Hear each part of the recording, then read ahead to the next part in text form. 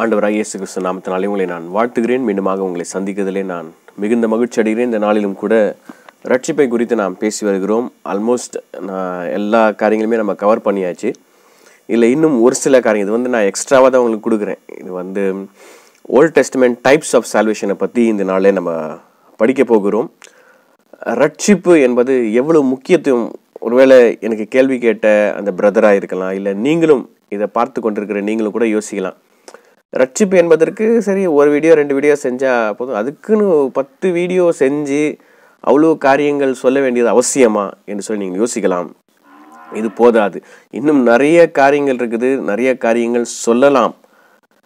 வேதத்தின் ஆதாரத்தில். ஆனாலும் நான் எவ்வளவு நான் சுருக்கமாக சொல்ல முடியுமோ அவ்வளோ சுருக்கமாக நான் சொல்லிக் கொண்டு இருக்கிறேன் இன்றைக்கும் இந்த old testament types of salvation பழைய ஏற்பாட்டிலே ரட்சிப்பின் மாதிரிகளை குறித்து நாம் பார்க்க போகிறோம். மறுபடியும் நான் சொல்கிறேன் நீங்கள் ஒரு வேளை நீங்கள் ஊழியக்காரராக நீங்கள் இருப்பீர்கள் என்று சொன்னால் தயவு செய்து தயவு செய்து தயவு செய்து உங்களுடைய செய்திகளில் ரட்சிப்பை நீங்கள் முக்கியத்துவப்படுத்தி நீங்கள் என்ன செய்தி வேணால் கொடுங்க. ஆனால் ரட்சிப்பை நீங்கள் ஃபோக்கஸ் பண்ணி ஒரு செய்தியை கொடுப்பீங்கன்னு சொன்னால் ஏன்னா நான் மறுபடியும் மறுபடியும் சொல்கிறது என்னென்னா சுகத்துக்காக வராங்க சமாதானத்துக்காக வராங்க பிரச்சனைகளோடு கூட வராங்க. எஸ் அவங்களுக்கு நம்ம ஆறுதல் சொல்ல வேண்டியது அவசியம்தான். ஆனால் ஆறுதல் சொல்லிவிட்டு அப்படியே விட்டுட்டா அவங்க சுகம் கிடச்சி இந்த உலகத்தில் அவங்க எத்தனை வருஷம் உயிர் வாழ போகிறாங்க வாழ்ந்துட்டு அவங்க நரகத்துக்கு தானே போக போகிறாங்க ரட்சிக்கப்படலனா சுகம் அவசியம்தான். ஆசீர்வாதங்கள் அவசியம்தான். ஆனால் ரட்சிப்பு நாம் பெற்றுக்கொண்டால் தான் நாம் பரலோக ராஜ்யத்துக்கு போக முடியும். இந்த உங்களுடைய சுவிசேஷ செய்திகளில் இந்த சபை கூட்டமாக இருக்கட்டும் வீட்டு ஜப கூட்டமாக இருக்கட்டும் எந்த கூட்டமாக இருக்கட்டும் நீங்கள் ரட்சிப்பை குறித்து நீங்கள் பேச வேண்டியது அவசியம். அப்போ நீங்கள் ரட்சிப்பை குறித்து நீங்கள் பேச வேண்டும் என்று சொன்னால் பாவத்தை குறித்து நீங்கள் பேசிதான் ஆக வேண்டும். வரி வேறு வழி கிடையாது. பாவத்தை குறித்து பேசினா தான் நம்ம ரட்சிப்பை வந்து எக்ஸ்பிளைன் பண்ண முடியும். நேற்று தினத்தில் நான் ஒரு மீட்டிங்க்கு போயிருந்தேன். என்னை அழைத்திருந்தார். நான் சொன்னேன் ஏற்கனவே இன்விடேஷன் கொடுத்துருந்தாங்க. ஜஸ்ட் அட்டன் பண்ணுறதுக்கு தான் நான் போயிருந்தேன். இப்போ நான் அங்கே போயிட்டு நான் என்ன யோசித்தேன்னா நான் போனதே லேட்டாக தான் போனேன். எட்டு எட்டரை மணிக்கு தான் போனேன். நான் என்ன யோசித்தேன்னா சரி நம்ம போயிட்டு ஓரமாக உக்காந்துட்டு நம்ம யாரும் பார்க்காத இடத்துல நம்ம உக்காந்துட்டு செய்தியை மட்டும் நம்ம கேட்டுட்டு நம்ம என்ன பண்ணலாம்? வீட்டுக்கு வந்துடலாம் அப்படின்னு சொல்லிட்டு நான் யாருக்கும் தெரியாத மாதிரி கூட்டத்தோட கூட்டமாக போய் கீழே உக்காந்துட்டேன். உக்காந்துட்டேன்னா முன்னாடி நான் போகிற நேரத்தில் தான் வரவேற்பு அமந்திரன்னு சொல்லுவாங்க. வரவேற்பு நடந்துட்டு இருக்குது. ஃபஸ்ட்டு பாட்டெலாம் பாடுவாங்க வர்ஷிப்லாம் பண்ணுவாங்க அதுக்கப்புறம் வரவேற்பு கொடுப்பாங்கல்ல வந்த கெஸ்ட்டு இங்கே வந்து வரப்பே அது ஒரு பெரிய ட்ரெடிஷன் இங்கே. வரவேற்புக்கே ஒரு ஹாஃப் அன் ஹவர் எடுத்துக்குவாங்க. ஒவ்வொருத்தராக பேர் சொல்லி அவங்க முன்னாடி கூப்பிட்டு அவங்கள மாலை போட்டு வரவேற்பாங்க. அங் இது வந்து இந்த ஆதிவாசி ஜனங்கள் மத்தியில் இருக்கிற ஒரு ட்ரெடிஷன் அது நீங்கள் எந்த சர்ச்சாக இருந்தாலும் சரி ஆர்சி சர்ச்சாக இருக்கட்டும் இல்லை பென்டிகாசல் சர்ச்சாக இருக்கட்டும் இல்லை சிஎன்ஐ சர்ச்சாக இருக்கட்டும் பிரதரனாக இருக்கட்டும் சால்வேஷன் யாருமே இருக்கட்டும் எந்த ஒரு டினாமினேஷனாக இருந்தாலும் இங்கே இருக்கிற இந்த ஆதிவாசி ட்ரெடிஷன் என்னென்னா அந்த வெல்கம் பண்ணுறதுல வந்து அவங்க ரொம்ப half an hour time spend பண்ணாலும் பரவாயில்ல வெல்கம் எல்லாரையும் வரவேற்கணும் மாலை போட்டு வரவேற்பாங்க. அதில் வந்து நிறைய டைம் ஸ்பெண்ட் பண்ணுவாங்க. அது அவங்க ட்ரெடிஷன் நம்ம சரி நம்ம அட்டன் பண்ணுறதுக்காக தான் போனோம். ஜஸ்ட் நம்ம போய்ட்டு கூட்டத்தோட கூட்டமாக உக்காந்துக்கிட்டு நம்ம என்ன பண்ணிடலாம் வந்துடலான்னு சொல்லிட்டு உக்காந்துருக்கேன் ஊழியக்காரங்களாம் அங்கே மேடையில் ஸ்பீக்கரு மெயினாக நடத்துகிறவங்க அவங்க ரெண்டு மூணு பேர் சீட் போட்டு உக்காந்துருந்தாங்க. ரைட் சைடில் எப்போவுமே இங்கே நடக்கிற ட்ரெடிஷன் படி ரைட் சைடில் ஒரு பெரிய ஒரு நூறு சேர் போட்டிருப்பாங்க. ஊழியக்காரங்களாம் சேர் மேலே உட்காருவாங்க மற்ற விசுவாசிகள் வந்து கீழே உட்காருவாங்க இந்த கார்பெட் மாதிரி போட்டிருப்பாங்க. தார்பாய் போட்டிருப்பாங்க. அது மேலே உட்காருவாங்க மேலே இந்த மண்டப்னு சொல்லுவாங்க. நம்ம ஊரில் ஷாமியானான்னு சொல்லுவாங்க. அந்த மாதிரி போட்டிருப்பாங்க. குளிருக்குனால வெட்ட வெளியில் தான் நடக்கும். அப்படி ஊழியக்காரங்கள்லாம் வரவேற்றாங்க நான் போய் உட்காந்துருந்தேன் அமைதியாக யாரும் நம்மளை பார்த்துடக்கூடாது சொல்லிட்டு நான் போட்டிருந்த ஸ்வெட்டர் ஜெர்கின்லாம் போட்டு மேலே இதெல்லாம் போட்டு கட்டிட்டு இப்படி உட்காந்துருக்கிறேன் அப்போது அதை நடத்துகிறவரும் எனக்கு தெரியாது. அவர் எனக்கு அறிமுகம் இல்லாதவர். நான் அவரை பார்த்ததே கிடையாது பேசினதே கிடையாது. அவர் வரவேற்றிருந்தார் அப்புறம் யாராவது ஊழியக்காரங்க இருந்தீங்கன்னா நீங்கள் வந்து உட்காருங்க அப்படி ஒவ்வொருத்தரையாக பார்த்து பார்த்து வரதுனால சரி நம்மளுக்கு நமக்கு தெரியாத ஆள் தானே. நம்மளுங்க வர வரவேற்க போகிறாங்க நல்லதாக போச்சுன்னு சொல்லிட்டு அப்படியே உட்காந்துருந்தேன் திடீர்னு பார்த்தா அவர் ஜாவடாலேருந்து வந்திருக்கிற ரஞ்சித் சார் நீங்கள் முன்னாடி வாங்க அப்படின்ட்டார். நான் நான் இங்கேருந்து கை காட்டுறேன். நான் இங்கேயே உட்காந்துக்கிறேன் இங்கேயே உட்காந்துக்கிறேன். இல்லை இல்லை. நீங்கள் கண்டிப்பாக நீங்கள் முன்னாடி நான் வரணும். நான் உங்களை வரவேற்கணும். அப்படின்னு சொன்னேன் அது இப்படி ஆகி போச்சுன்னு சொல்லிட்டு. அப்புறம் நான் முன்னாடி போனேன். சரி வரவேற்றாங்க. வரவேற்றான்னு சரி நம்ம அங்கேயே போய் உட்காந்துடலான்னு சொல்லி திரும்பி போனால் இல்லை இல்லை. எங்கே போகிறீங்க உங்களுக்காக தான் நாங்கள் எங்கள் சேர்லாம் போட்டு வச்சுருக்கோம். முன்னாடி உட்காருங்கன்னு முன்னாடி உட்கார வச்சுட்டாங்க. சரின்னு முன்னாடி உட்காந்தாச்சு. அதுக்கப்புறம் வரவேற்பெலாம் முடிஞ்ச பிறகு மெசேஜ் மெசேஜ் கொடுக்குறாரு. வெளியிலேருந்து ஒரு ஊழியக்காரர் வந்திருந்தார்.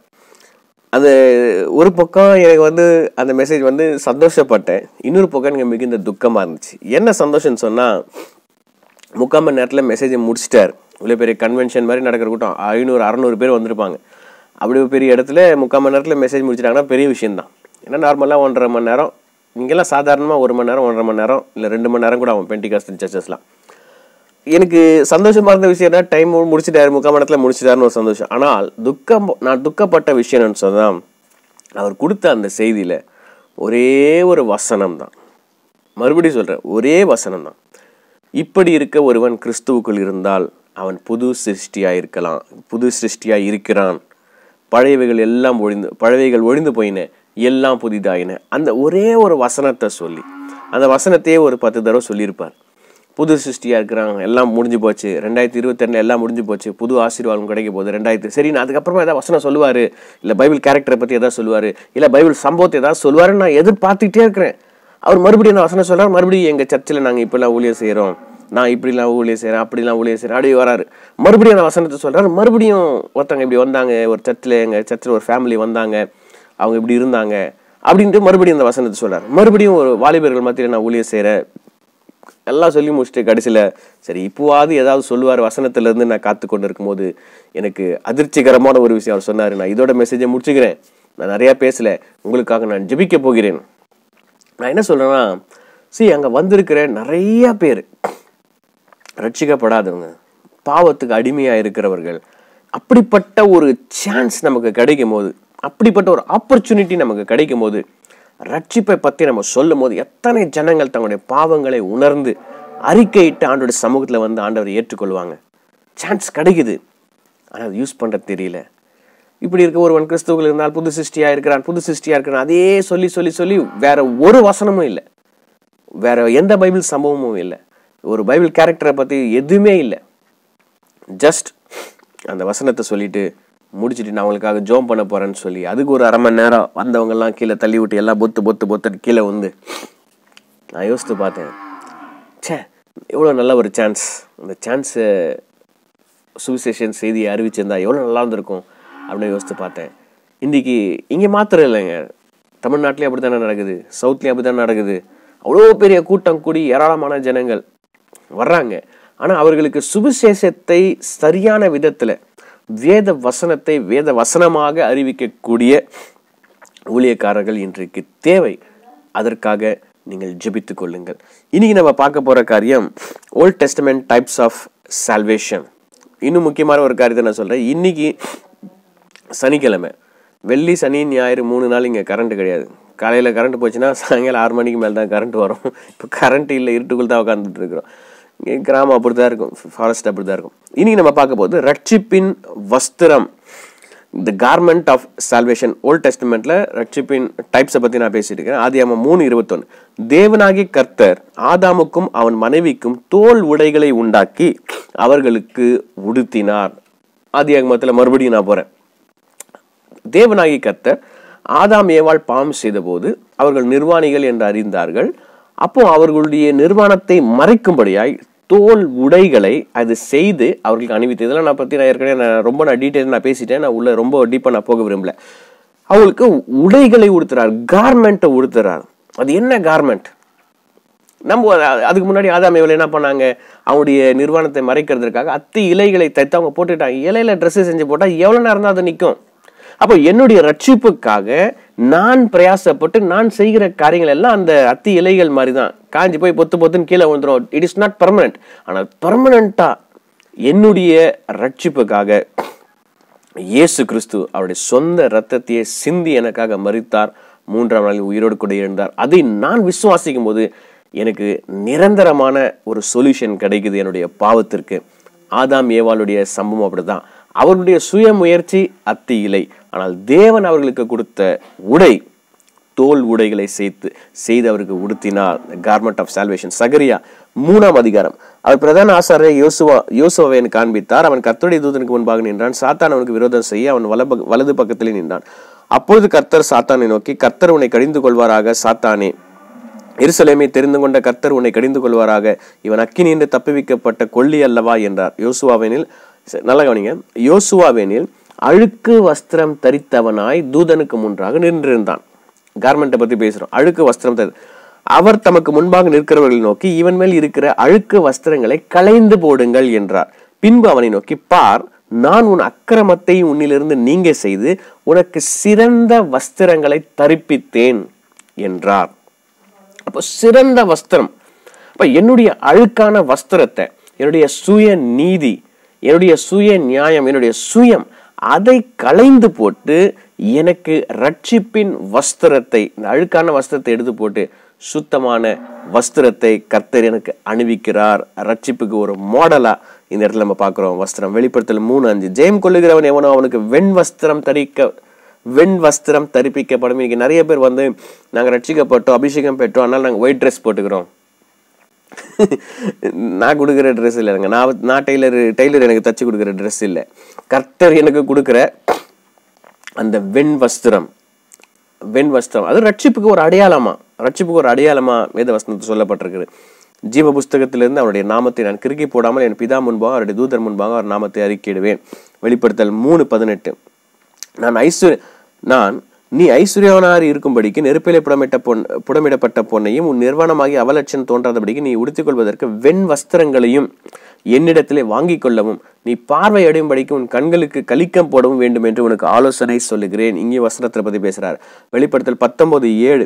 நாம் சந்தோஷப்பட்டு களி கூர்ந்து அவருக்கு துதி செல் துதி செலுத்த கடவும் ஆட்டுக்குட்டியானவருடைய கல்யாணம் வந்தது அவருடைய மனைவி தன்னை ஆயத்தம் பண்ணினாள் என்று சொல்ல கேட்டேன். சுத்தமும் பிரகாசமான மெல்லிய வஸ்திரம் தரித்து கொள்ளும்படி மெல்லிய வஸ்திரம்.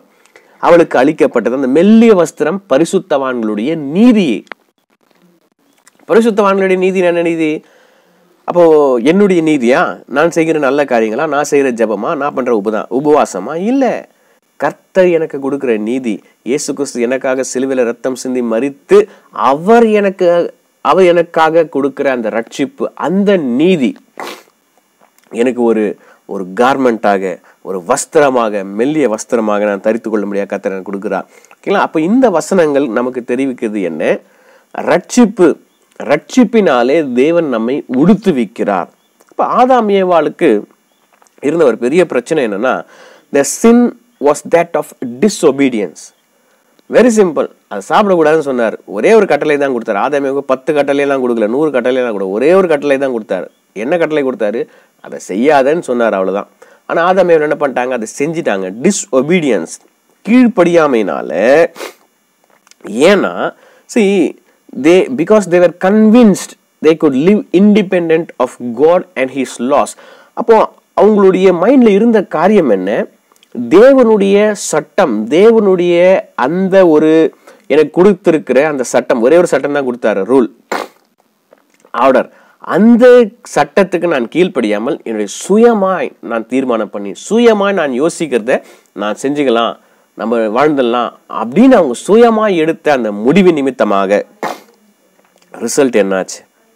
நடந்து ஏன்னா because they're convince that they could live independent of God தேவன் இல்லாமல் நம்ம வாழ்ந்துக்கலாம்ப்பா நம்ம பார்த்துக்கலாம்ப்பா அப்படின்ற மாதிரி அவங்க செய்த அந்த தவறு the first terrible result of sin அப்போ ஆதாம் ஏவால் செய்த அந்த பாவத்தின் ரிசல்ட் என்ன? The realisation of their shame and nakedness before God அவமானம் வெட்கம் தலைகுனிவு. சரி இதுக்கு தேவன் இல்லாதபடிக்கு நான் சுயமாய் நான் யோசித்து நான் சுயமாக நான் படிச்சிருக்கிறேன் எனக்கு நிறையா தெரியும். நான் நிறைய பைபிள் காலேஜ்லாம் போய் படிச்சிருக்கிறேன் நான் எனக்கு ஹீப்ரூ தெரியும் கிரீக் தெரியும். எனக்கு நிறைய அனுபவம் இருக்குது வாழ்க்கையில். அப்படின்னு நீங்கள் தீர்மானம் எடுப்பீர்கள் சொன்னால் தேவனிடத்திலிருந்து ஆலோசனை இல்லாமல் எனக்கு எல்லாம் தெரியும் நீங்கள் தீர்மானம் எடுப்பீர்கள் என்று சொன்னால் it will be nakedness before God it will be shame on your side before God அது அவமானத்தை உங்களுக்கு கொண்டு வரும். சரி ஆதி அம்மா மூணு ஏழு. அப்போ அவங்க பாவம் செஞ்ச பிறகு அப்பொழுது அவர்கள் அவர்கள் இருவருடைய கண்களும் திறக்கப்பட்டது. பாவத்தில் விழுந்தோடனே இருவருடைய கண் ஆதாமி அவருடைய கண்கள் திறக்கப்பட்டது. அதே மூணு ஏழு. அவர்கள் தாங்கள் நிர்வாணிகள் என்று அறிந்து அத்தி இலைகளை தைத்து தங்களுக்கு அரைக்கச்சைகளை உண்டு பண்ணினார்கள். அப்போ மனுஷனுடைய எண்ணம் பாருங்களேன். எப்பவுமே வந்து மனுஷனுடைய எண்ணம். மனுஷன் வந்து ஒரு தப்பு செய்யும்போது உடனே கடவுள்கிட்ட போக மாட்டான். அவன் செஞ்ச தப்பை எப்படிலாம் மூடி மறைக்கலாம் எப்படியெல்லாம் நம்ம வந்து சுயத்தை யூஸ் பண்ணி எக்ஸ்பீரியன்ஸை யூஸ் பண்ணி மூளையை யூஸ் பண்ணி எப்படியா நம்ம ப்ராப்ளத்தை சால்வ் பண்ணிடலாம்னு சொல்லிட்டு ஆதாம் ஏவால் தப்பு பண்ணிட்டாங்க. கத்த செய்யாதுன்னு சொன்னார் செஞ்சிட்டாங்க. இப்போ அவங்க என்ன பண்ணுறாங்க அவர்களே அவங்க அத்தி இலைகள்லாம் செஞ்சு அவங்க பார்த்தா அத்தி இலைகள் சூப்பராக இருக்குது. வா இதில் ட்ரெஸ்ஸை செஞ்சு போட்டுக்கலாம். அப்படின்னு பச்சை பசேர்னு இருக்கிற அத்தி இலையை எடுத்து போட்டாங்க. வெயில் அடிக்க அடிக்க அடிக்க இலையெல்லாம் சுருங்கி போச்சு. அவ்வளோதான் பொத்து பொத்துன்னு கீழே வந்துச்சு சி இதான் மனுஷனுடைய நார்மல் மனுஷனுடைய எண்ணம். மனுஷனுடைய எண்ணம் என் பிரச்சனையை சால்வ் பண்ணுறதுக்கு நான் யோசிக்கிறேன். நான் பண்றேன். நான் சால்வ் பண்ணிடுறேன். நான் அங்க போறேன். நான் இங்க போறேன். அப்படின்னு அவருடைய சுய முயற்சியில இருங்கின ஆதாம் ஏவாளுக்கு என்ன நடந்தது? அத்தி இலைகளை தைத்து போட்டாங்க. பெர்மனண்ட் முடிவு இல்லை. டெம்பரவரி தான். எத்தனை நாள் தான் அத்தி இலைகளை தைச்சு போட்டுக்கிட்டே இருப்பாங்க.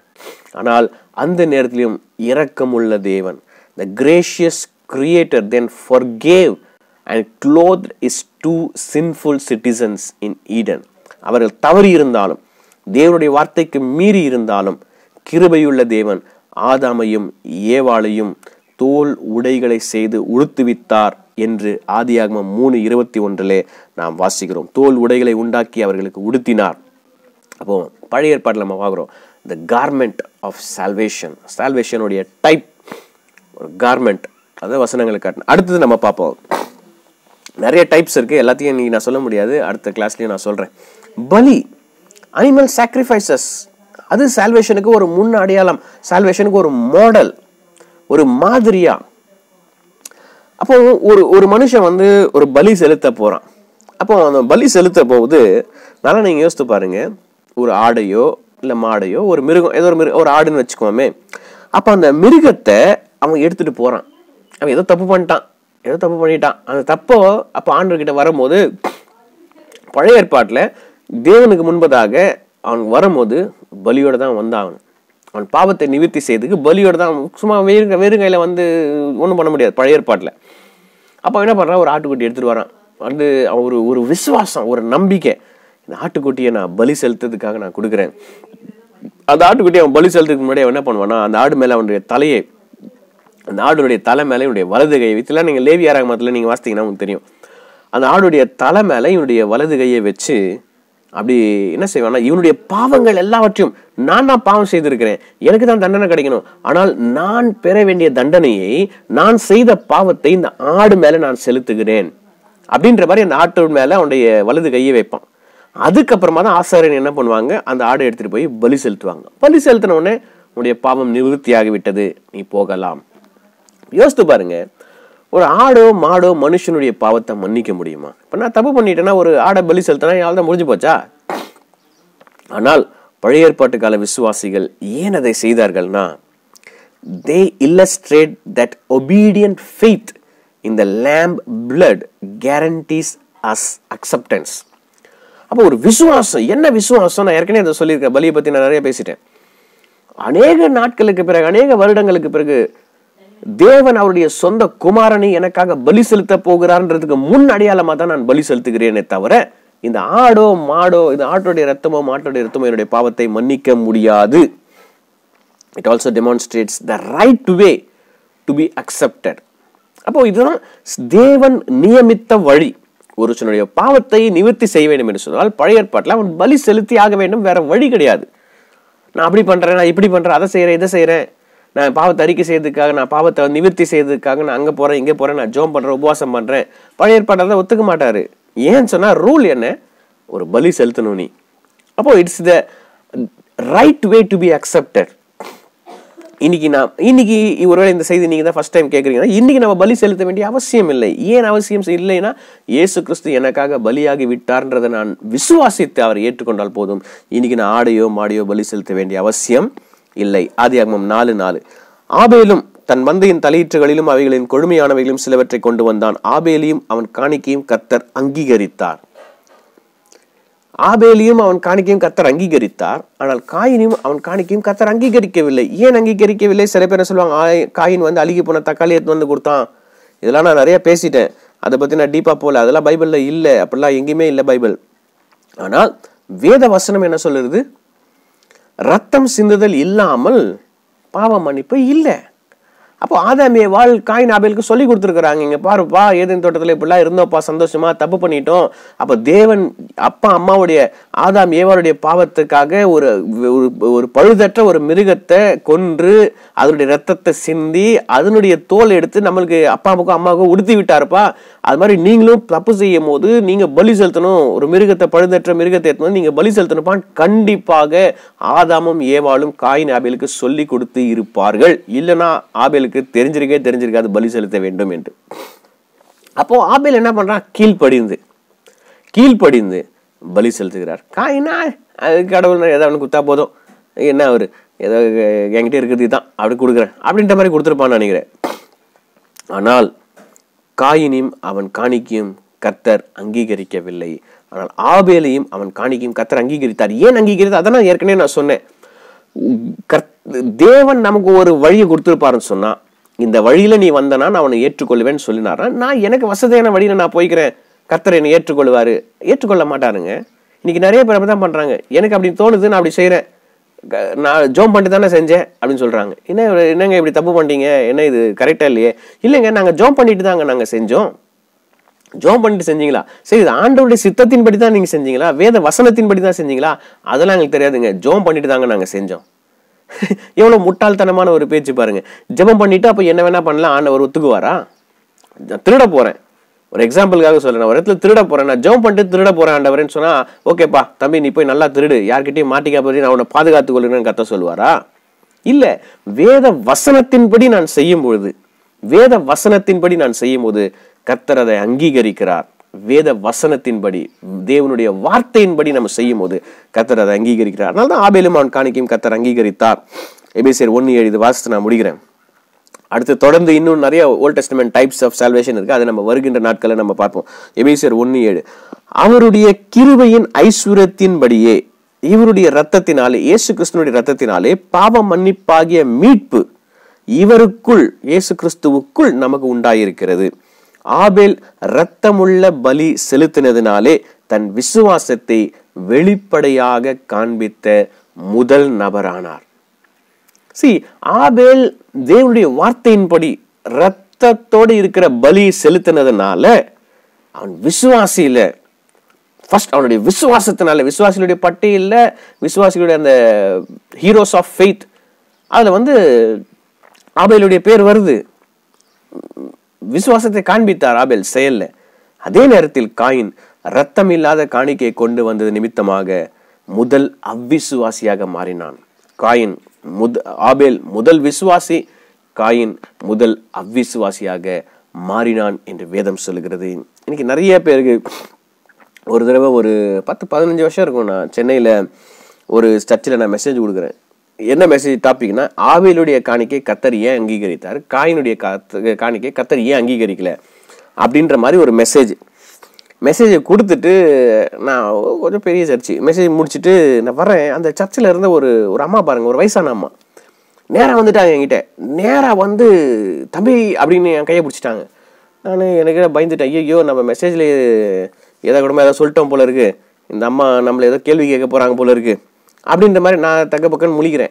அந்த அம்மா வந்து தம்பி நான் வந்து இந்த சர்ச்சில் பைபிள் உமனாக இருக்கிறேன் தம்பி அப்படின்னு. ஐயோ பைபிள் உமனா எப்பனா அவங்க ரொம்ப பைபிள் படிச்சிருப்பாங்க போல இருக்கு. இப்போ ஏதோ டவுட் கேட்க போகிறாங்க நம்மளுக்கு. இல்லை மெசேஜில் இருந்து குதர்க்கமாக ஏதோ கேள்வி கேட்க போகிறாங்க போல இருக்குன்னு நான் திரு திருன்னு முழிச்சிட்டு அப்போ நான் வாலிபன் எனக்கு இருபது வயசு.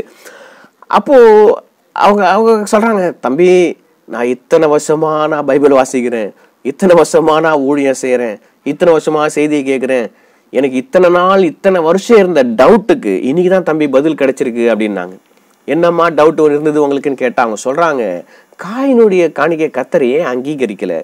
ஆபேலுடைய காயினை ஆபேலுடைய காணிக்கையை கத்தர் ஏன் அங்கீகரித்தாருன்னு இத்தனை நாள் எனக்கு கேள்வி இருந்துச்சு தம்பி. இன்னைக்கு தான் நீங்கள் அதை சொன்னீங்க. இன்னைக்கு தான் எனக்கு புரிஞ்சிச்சு. இதனால தான் ஆபேலுடைய காணிக்கையை கத்தர் அங்கீகரித்தாரு. இதனால தான் காயினுடைய காத்- காணிக்கையை கத்தர் அங்கீகரிக்கலன்னு இன்னைக்கு எனக்கு பதில் கிடைச்சிச்சு தம்பி. எனக்கு ரொம்ப சந்தோஷமா இருக்கு தம்பின்னு சொன்னாங்க. யாரு? Bible woman. அவங்க பைபிள் உமன்னா நாங்கள் சவுத்தில் நாங்கள் இருந்த இடங்கள்லாம் அப்படி வந்து அது அது அது ஒரு மெத்தடிஸ்ட் சர்ச் அது. அது மாதிரி நிறைய சபைகளை நான் பார்த்துருக்கேன். அவங்க வந்து பாஸ்டர் சில நேரம் போக முடியாத. இடங்களுக்கு இந்த பைபிள் அம்மா போவாங்க. அவங்க போய் ப்ரேயர் பண்ணுவாங்க. யாருக்கா உடம்பு சரியில்லாதவங்களும் அவங்க போய் ஜோம் பண்ணுவாங்க. ப்ரேயர் மீட்டிங்ஸ் லேடிஸ் கூட்டங்கள்லாம் அவங்க நடத்துவாங்க. சகோதரிகள் ஐக்கியத்தில் நடத்துவாங்க. உபவாசம் மீட்டிங்லாம் அவங்க நடத்துவாங்க. அவங்க தான் பைபிள் உமன்னு சொல்லுவாங்க. அவங்களுக்கு இருந்த டவுட் என்ன? ஏன் கர்த்தர் ஆபேல் காணிக்கை அங்கீகரித்தார்? காயின் காணிக்கை ஏன் அங்கீகரிக்கல? யோசித்து பாருங்கள் வேதத்தை வாசிக்கிறவர்கள் தான். வேதத்தை மற்றவர்களுக்கு போதிக்கிறவர்கள் தான். ஆனால் வேத வசனத்தினுடைய விளக்கம் வேத வசனம் இந்த வசனத்துக்கு இதுதான் அர்த்தம். இந்த வசனத்துடைய பேக்ரவுண்ட் இதுதான். இந்த வசனத்துக்கு இதுதான் இப்படிதான் இந்த வசனம். அப்படின்ற மாதிரியான ஒரு டீச்சிங் இந்த நாட்களில் தேவை. அதான் ஏற்கனவே சொன்னேன் நேற்று நான் போ கேட்ட மெசேஜில் ஆடி போயிட்டு நான் வரும்போது என்னடா இதுன்ற மாதிரி ஆயிடுச்சு எனக்கு. சி அவ்வளோ பேர் இருந்த இடத்துல சுவிசேஷத்தின் செய்தி வேத வசனம் போதிக்கப்படவில்லை. வேத வசனத்தின் ஆதாரத்தில் செய்திகள் கொடுக்கப்படுகிறது. இல்லை. ஏதோ ஒரு கத்த கத்தர் நல்லவர் கத்தர் உன் கண்ணீரை துடைக்குவார். கத்தர் வந்து முதுகு வலிக்குதா? கத்தர் வந்து தேய்ச்சி விடுவார். தலை வலிக்குதா? கத்தர் சரிப்படுத்துவார். வயிற்று வலிக்குதா? கத்தர் சரிப்படுத்துவார். ஓகே வயிற்று வலிக்குதுன்னா எனக்கு சுகம் தேவை தான் எனக்கு அது தெரியுது. வயிறு வலி சரியாகி நான் நரகத்துக்கு போனால் பரவாயில்லையா? இல்லைங்க நான் வயிற்று வலியோட பரலோகத்துக்கு போனால் எனக்கு மிகுந்த சந்தோஷங்க எனக்கு. நித்திய நித்திய நரகத்துக்குள்ள போகிறதுக்கு இங்கே இருக்க எத்தனை மிஞ்சி போனால் ஒரு முப்பது வருஷம் நாற்பது வருஷம் வயிறு வலி சரியாகி அதுக்கப்புறம் நித்திய நித்தியமாக நரகத்துக்கு போகிறத விட நான் இந்த வயிற்று வலியை நான் தாங்கிக்கிட்டு பரலோகத்துக்கு போகிறது நித்திய நித்தியமாக ஆண்டுடைய சமூகத்தில் நான் வாழுகிறது எவ்வளோ பெரிய சந்தோஷம். யோசித்து பாருங்க. இன்னைக்கா இன்னைக்கு அதுக்காக நீங்கள் ஜெபம் பண்ணுங்கள் ஊழியக்காரங்களுக்காக ஊழியங்களுக்காக நீங்கள் ஜெபிக்க வேண்டியது உங்களுடைய கடமையாக இருக்கிறது. அதனால் நீங்களும் நான் சொல்லுகிற ஒரு காரியம் உங்களுக்கு அதுதான். உங்கள் பைபிள் எடுங்க. நீங்கள் வாசிங்க. நீங்கள் ஜெபம் பண்ணுங்க. பரிசு தாவியானவனுக்கு உதவி செய்யுங்க. எனக்கு புரிந்து கொள்ளுங்க உதவி செய்யுங்கன்னு சொல்லி நீங்கள் கேளுங்க. வேத வசனத்தை புரிந்து கொள்ளுங்கள். வேத வசனத்தை மற்றவர்களுக்கு போதியுங்கள். புரிய வையுங்கள். கர்த்தர் ஆசீர்வதிப்பாராக. தொடர்ந்து இந்த மெசேஜ் நான் கொடுக்குறேன் இன்னும் ஒரு நான் இன்னைக்கு முடிக்கலாம்னு நினச்சேன். இது அதனால் இன்னும் கொஞ்சம் சொல்லிட்டு இது முடிச்சேன்னா எனக்கு ஒரு கம்ப்ளீட்னஸ் இருக்கும்னு நான் நினைக்கிறேன். அதனால் இன்னொரு ரெண்டு மூணு ஸ்டடியில் அதை முடிச்சுட்டு அதுக்கப்புறம் சிஸ்டர் நீங்கள் ஒரு கேள்வி கேட்டிருந்தீங்க. கார்மெண்ட் ஆஃப் ப்ரைஸை பற்றி அதை நான் கண்டிப்பாக கண்டிப்பாக நான் ஒரு வீடியோ பண்ணுறேன் ஒரு இல்லை ரெண்டு வீடியோ நான் பண்ணுறேன் கார்மெண்ட் ஆஃப் பிரைஸ் துதியின் ஆடையை அணிந்து கொள்வது எப்படின்றத பற்றி நான் கண்டிப்பாக நான் பேசுகிறேன் கத்தர் உங்களை ஆசீர்வதிப்பாராக. எனக்காக ஊழியங்களுக்காக நீங்கள் ஜெபித்துக் கொள்ளுங்கள். God bless you